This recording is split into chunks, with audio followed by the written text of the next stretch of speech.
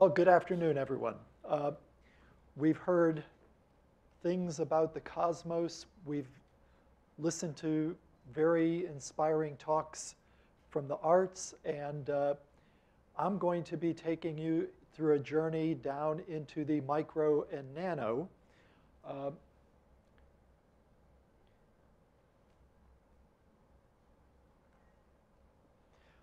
and I want to motivate my talk by talking about uh, energy and energy storage. Uh, we have uh, in, well, we have uh, from many, many years ago, uh, little capacitors with little wires. We have taken that technology and put it onto planar films uh, in silicon microelectronics. These days, we even have flexible devices that can be displays, can be uh, components of cell phones and so forth. Uh, and where it starts getting into very high energies is in the domain of supercapacitors, electric vehicles, and those types of technologies. Uh, so I've, I've mentioned these things uh, in these, this laundry list of different applications, but let me just say that when we think about capturing solar energy with solar panels, ultimately what we need to do is to convert that DC current into an AC current that will drive the things that we use. And so for these so-called power applications and power inverters, uh, these dielectric materials, these capacitors, are very uh, important components. So let me just tell you a little bit about the materials. Uh, we have uh, uh been doing experimentation and research in the area of uh, chemically modified silicates. And that's what we have uh, up in these white panels here.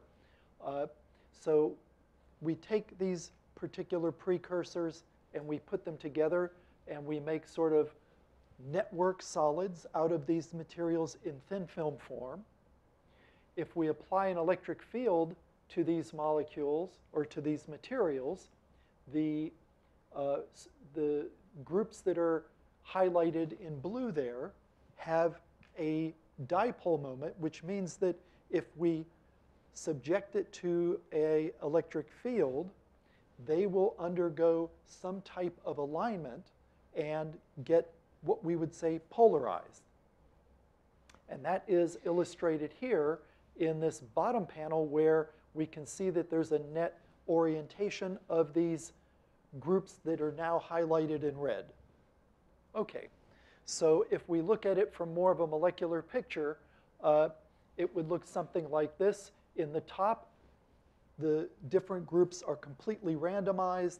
In the bottom panel, we have a relatively high degree of order and alignment of these molecules that, uh, that basically give us a separation of charges between the two electrodes, and that is a, a way of storing energy that we can release later. Okay, and we just recently published a paper on this work in Advanced Energy Materials. Uh, one of my postdocs is very good with animations and uh, graphics, and he came up with, from just a few suggestions on my part, came up with uh, this really intriguing picture. And let me just say that the yellow dots up top and the blue dots down at the bottom represent the charges that are being separated by the application of the electric field. Uh, we can we, we uh, envision applications in very lightweight defibrillators, uh, power converters in terms of the solar application that I mentioned, and also in electric vehicles. Okay, so when we take these materials, these sol gel materials that have silicates in these polar groups, uh, we can do pretty well in terms of energy storage. Let me just give you a context. This, the standard in industry for high energy density materials is a form of polypropylene, which uh, is a very common plastic. It's used for squeeze bottles and other things. Uh, and uh, the energy density available commercially from these polypropylene devices are in the range of two to three joules per cubic centimeter. And so what we've been looking at are the fundamental problems that limit that energy density. And, uh, and one of those issues is the injection of charge into our dielectric or capacitor material. And so what we have been experimenting with for about the last two years is uh, the utilization of so-called charge blocking layers, very thin layers, nanoscale layers that uh, are sort of illustrated here. Our device structure has a, an electrode at the bottom. We have that sol gel material. It's that CNET MS. Uh, and then we have a top barrier layer and that's where we are putting these charge blocking films. And then on top of that, we put aluminum electrodes. So uh, you can see here they vary in thicknesses from somewhere in the range of a couple of hundred nanometers down to about, let's say, one to two nanometers. Uh, and so uh, these barrier layers function to basically create a big barrier that the charges have, uh, incur when we turn the field on.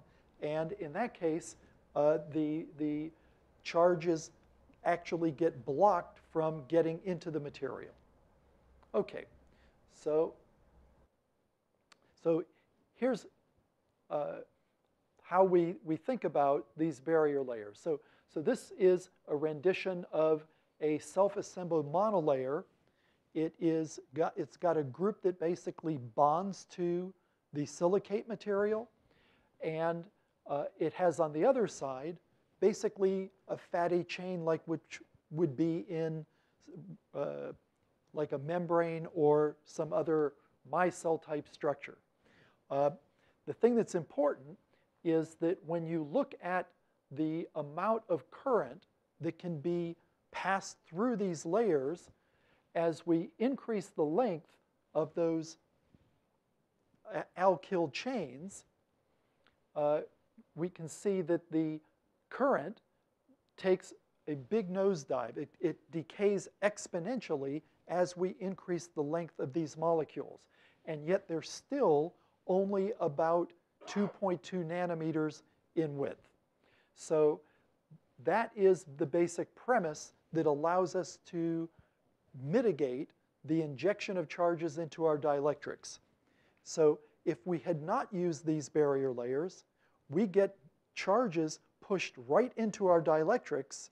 They get trapped, and they're very difficult to get out, and the extraction efficiency of energy plummets.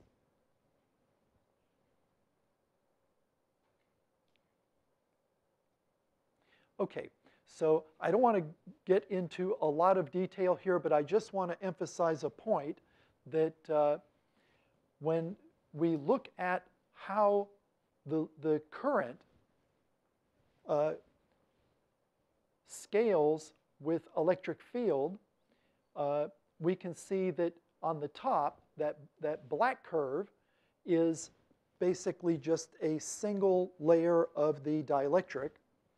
And then we've used three other layers that we have put uh, sequentially in between uh, the CNETMS and the electrode.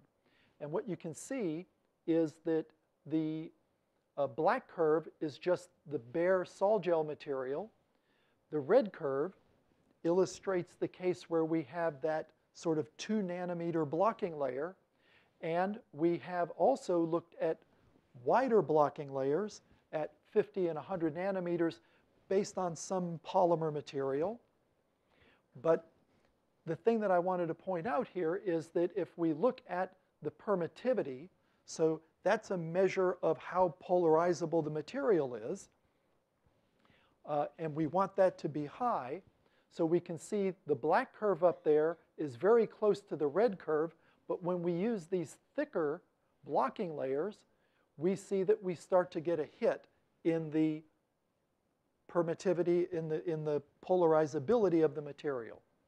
Okay, so the long and the short of it is that this OPA, this octyl phosphonic acid monolayer that we're using to block the charges to, from getting into the dielectric is critical and it is also favorable in terms of maintaining a high uh, polarizability of that material.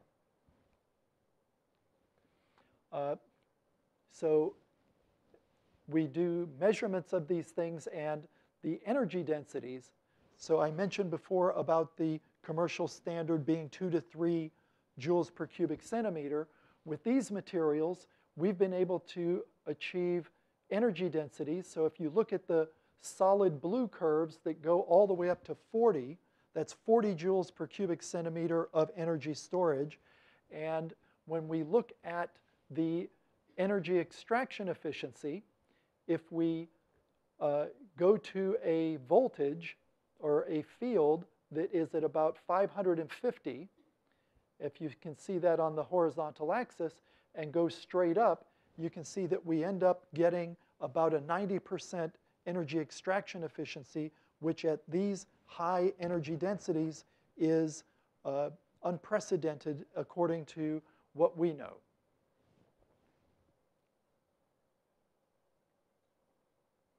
Okay, so to put this into a, a, a little broader context, uh, this is a, a, plot that is referred to as a Ragone plot, and it plots energy density versus power density. So, so batteries typically have very high energy densities, and you can see up where it's the Panasonic lithium-ion battery, that's like the king of batteries for rechargeables now. Uh, there are some other technologies here represented by the thin film lithium battery. Those are those uh, sort of rust-colored uh, triangles. And there's some other technologies here, supercapacitors, uh, electrolytic capacitors. And if you look at it from a, a distance, then what you see is that we have uh, uh, put a black dashed line across the vertical uh, span on the, on the plot to show the energy density that we achieve. And we also plot it going down to show what the power density is. And so what this means is that it, was, is a, it was, it really was a bit of a surprise at how good it was with the power density.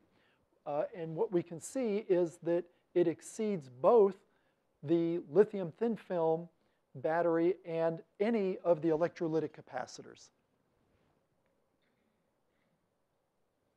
Okay, so the features that, that are uh, aside from the energy densities are that we make these materials using primarily solution processing, doing spin coating and very simple processing, very cheap. Uh, there's a lot of potential for tuning the energy storage properties with these different polar groups that we attach in these materials. And, uh, uh, and so then just to summarize, uh, these monolayers of alkyl phosphonic acids are effective in uh, blocking charges. Uh, we've gotten energy densities at uh, 40 joules per cubic centimeter and 3,900 watts per cubic centimeter. And these things can also be uh, mass manufactured on flexible substrates so that you can have uh, lightweight and flexible devices.